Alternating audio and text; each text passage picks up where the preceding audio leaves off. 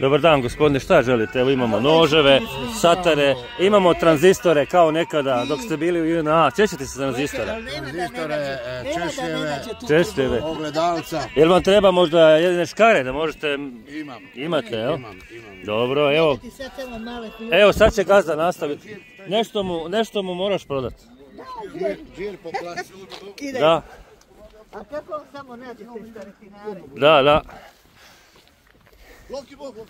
Poštovanje.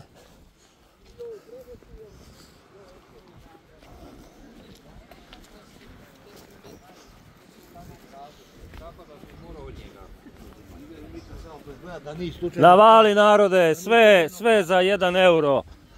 Jedan euro. Jedan euro. Dva eura, tri, pet. Domaći med, satovi.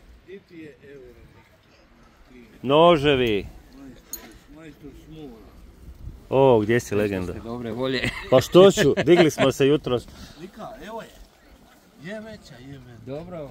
Je? Koja god ti pa. Evo je Evo je za kobasice, sigurno šestica, a? e, 22. Dvojstvo. 22. A koja je rupa? Rupa, rupa. Osmica. Šestica je A to. ovo je osmica, osmica.